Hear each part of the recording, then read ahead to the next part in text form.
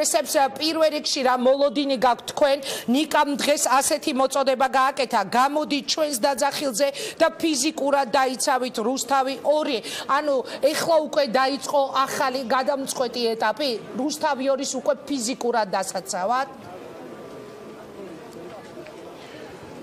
მე მაინც იმეც ვიტოვებ, რომ კოლეგია გონიერ გადაწყვეტილებას მიიღებს ამ საქმესთან დაკავშირებით, მით უმეტეს რომ წინა ორი პროცესი ამის საშუალებას იძლევა.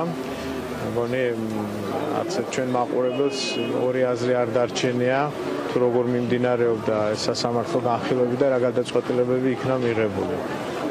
აა თუ ვითარება შეიცვალა და სხვაგვარი გადაწყვეტილება მივიღეთ, მაშინ ალბათ ჩვენ აუცილებლად დაგვჭირდება ჩვენი მაყურებლის მხარდაჭერა, იმიტომ რომ ამის გარეშე რუსთავი ორი ვერ იარსებებს. მაყურებლის მხარდაჭერა არის ერთი, მეორე არის დაუშვათ ის გადაწყვეტილება, რომელსაც შეიძლება სასამართლოს გადაწყვეტილება დაერქვას დათო და უკვე რუსთავი ორის არა დღევანდელი მფლობელების და მენეჯმენტის სასარგებლოდ იქნას მიღებული გადაწყვეტილება, არამედ მაგალითად ქიბარ ხალვაშის, რომელიც აცხადებს, რომ მას ეკუთვნის რუსთავი ორი და რომელიც ამბობს, რომ ის იბძვის თავისი საკუთრების დასაბრუნებლად. რა მოხდება იმ შემთხვევაში, თუ უახლოეს მომავალში გადაწყვეტილება იქნება მიღებული და ტელეკომპანია დაუბრუნდება ქიბარ ხალვაშს? ამ შემთხვევაში როგორი არის მთლიანად რუსთავი ორის გუნდის პოზიცია? აპირებს თუ არა გუნდი ამ ცვლილების შემთხვევაში განაგძოს მუშაობა? აპირებს თუ არა გუნდი რომ სასამართლოს გადაწყვეტილება თუ იქნება ასეთი და ე მორჩილოს სასამართლოს გადაწყვეტილებას. აა ჩვენ ალბათ მე შევიკრიბები და რაღაც საერთო სტრატეგიას გამოვიმუშავებთ ამასთან დაკავშირებით, მაგრამ მე პირადად მგონია, რომ აი ამ ვითარებაში, აი ამ წინა სასამართლო განხილვების შემდეგ აა ეჭება რომ თანამშრომლო ამ ახალ მენეჯმენტთან ასე რომ არ ამგონია. ანუ თქვენ ახალი მენეჯმენტის პირობებში არ დარჩებით, ანუ რუსთავი ორში ამას ამბო? მე მეჭება რომ შეძლო მათთან თანამშრომლობა და მათი სურვილები არ ამგონია რომ რაღაცა თავისი საკუთრების დაბრუნება იყოს რაღაცა სამართლიანი სამართლიანი მგონია რომ ეს არის უბრალოდ პოლიტიკური დაკვეთა რომელსაც ისინი მგონია უნიჭოთ ასრულებენ. თუმცა ფაქტია რომ ჩვენ ხედავდით ბოლო პერიოდში კი არა და შეიძლება ვთქვათ რომ ბოლო 4 წლის განმავლობაში განსაკუთრებით ბოლო 2 წლის განმავლობაში როგორ ვითარდებოდა პროცესები სულ იყო მოლოდინი რომ შესაძლებელი იყო სასამართლოს მიეღო გადაწყვეტილება რუსთავი ორში შემოსულიყო ახალი მენეჯმენტი და ასე შემდეგ მაგრამ ჯერჯერობით მაინც სასამართლო პროცესს არ გასცდენია ეს ყველაფერი და არჩევნებზე საქართველოს გავიდა ამ რუსთავი ორთან და ამ მენეჯმენტთან ერთად. რატომ გაქვთ დღეს ასეთი მოლოდინი, რომ დღეს ხდება საბოლოოდ თუნდაც სუსტი დემოკრატიის არსებობა მაინც ქვეყანაში ეს განცხადება ნიკა გვარამიამ გააკეთა. ანუ თქვენი მოლოდინი დღეს არის ის, რომ ყველა შემთხვევაში იქნება გადაწყვეტილება მიღებული ქიბარხალვაშის სასარგებლოდ. აა იცით ერთი რამაც ეჭვი გამოიწვია ზალზე სწრაფად დაინიშნა ეს სასამართლო პროცესი ზუსტად არჩევნების დასრულების მეორე თუ მესამე კვირას და ცოტათი ამან შეგვაშფოთა. წინა სასამართლო განხილვების დიდი ოპტიმიზმის საფუძველს არ იძლევა. მაგრამ მე ისე ვამბობ მე პირადად ჯერ კიდევ იმეც ვიტოვებ რომ კოლეგია გონიერ გადაწყვეტილებას მიიღებს. არა ალბათ ყოველთვის ნათელი არის რომ ჩვენ დაგჭირდება ჩვენი დამოუკიდებლობის და თავისუფლების დაცვა და მგონია რომ ჩვენი მაყურებელი ამ საქმეში ჩვენ გვერდით უნდა დაგვიწყდეს. ანუ შენ ახლა როცა საუბრობ რომ თუ დაუშვათ იქ მენეჯმენტი შეიცვება შენ ვერ წარმოგიდგენია შენი თანამშრომლობა მათთან ამას წინათ გავცელდა ინფორმაცია. თითქოს შენ დატოვე რუსთავი ორი ანუ ახლა მე შემიძლია ვთქვა რომ ეს ინფორმაცია სიმართლეს არ შეესაბამებოდა ხო როგორ ჩანს? აა ინგა უბრალოდ არ მინდა რაღაც ჩემი პირადული ცხოვრების დეტალებით შეგაწუხოთ უბრალოდ ჩემი ჩემი მეუღლე ავსტრიის მოქალაქე არის და ამიტომაც ერთობლივად გადავწყვეტეთ რომ ახალი წლის შემდეგ მე ვაპირებ იმ ქვეყანაში გადასვლას და იქ მოღვაწეობის გაგრძელებას თუმცა რუსთავიორთან ამით ჩემი თანამშრომლობა არ გაწყდება ასე რომ ჩვენ ახლა რაღაც სხვა ფორმებს ვეძებთ კი ბატონო მე უბრალოდ მინდოდა რომ ეს ინფორმაცია დამეზუსტებინა დათო აი იმ შემთხვევაში თუ სასამართლო მიიღებს დღევანდელი მენეჯმენტისთვის და თქვენთვის მიუღებელ გადაწყვეტილებას. რა როგორ ელოდები თქვენ შემდეგ პროცესების განვითარებას?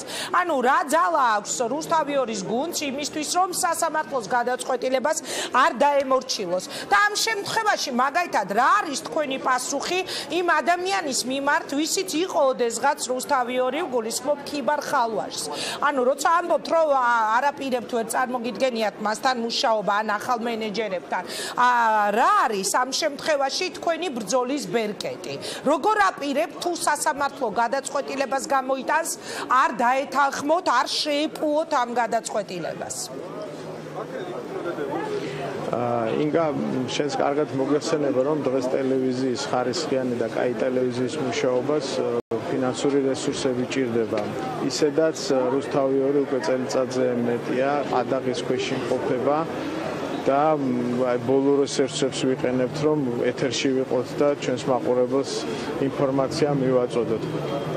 მენეჯმენტის შეცვლის შესახებ მე მგონი მარტივად უბრალოდ ფინანსურად მოახჩობენ არხს და ჩვენ ერთადერთი რაც შეგვიძლია ეს არის ჩვენი მეგობრების, კოლეგების და ჩვენი მაყურებლების და საზოგადოებრივი აზრის კონსოლიდაცია, რომ დავიცოთ პლურალიზმი ქართულ მედიაში. მოგწონს თუ არ მოგწონს რუსთავი 2, რუსთავი 2 იმის საშუალებას იძლევა, რომ მედია სივრცეში სხვა არხებთან ერთად ისმის განსხვავებული აზრი და ჩვენ მაყურებელს შედარება შეუძლია, იმიტომ რომ რო დააკვირდეთ რა ხდება ჩვენს მეზობლად, მიხვდებით რომ ესეთი ნაბიჯები ნელ-ნელა განხორციელებული ხელისუფლების მხრივ ან მათი ზეწოლით მიგვიყვანს იქამდე რაც იგივე მეზობელ რუსეთში ხდება. ანუ ელოდები მაინც როგორც მე მივხვდი თქვენ ელოდებით მთელი გუნდი ამ პირადად შენ რომ გადაწყვეტილებას სასამართლო გამოიტანს ქიბარხალვაშის სასარგებლოდ. სხვათა შორის როცა ხელისუფლება აკეთებს კომენტარებს და თუ ამ თემაზე ისინი ამბობენ რომ ამიში არსებობს ინგა უბრალოდ წინა კი ბატონო მესმის ხელისუფლებას როცა კომენტარებს თხოვთ ხომ ამ თემაზე ისინი ამბობენ რომ ეს არ არის ხელისუფლების მხრიდან პოლიტიკური ზეწოლა ეს არ არის ხელისუფლების მხრიდან იმის მცდელობა რომ ხელში ჩაიგდოს და უშვათ ყველაზე კრიტიკული ტელევიზია.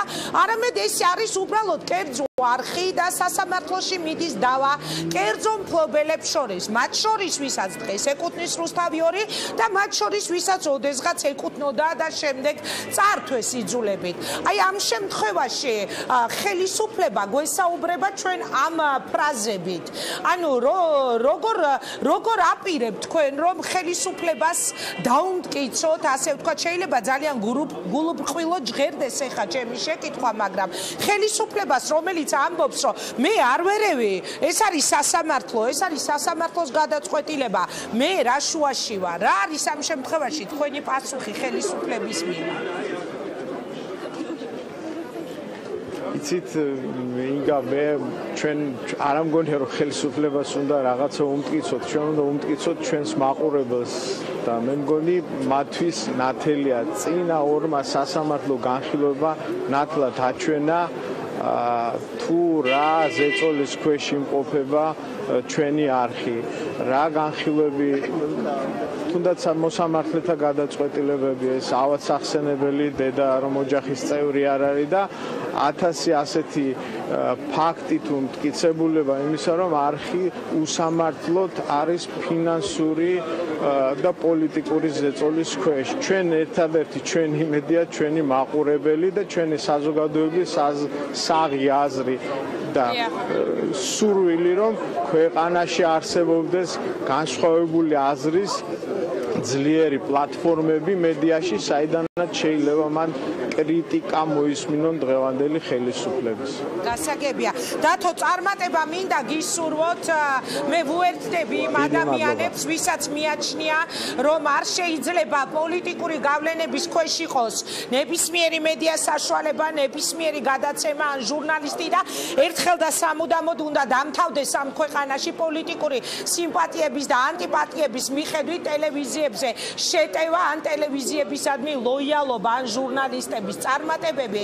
შენ და თქვენს გუნდს ახლა კი გადავდივარ ელენე ხოშტარიასთან. ელენე ხოშტარია უკვე ახალი პარლამენტის წევრი ფრაქციის თავმჯდომარე. მე მას მივესალმები. ელენე გვერდება სწორედ იმ აქციიდან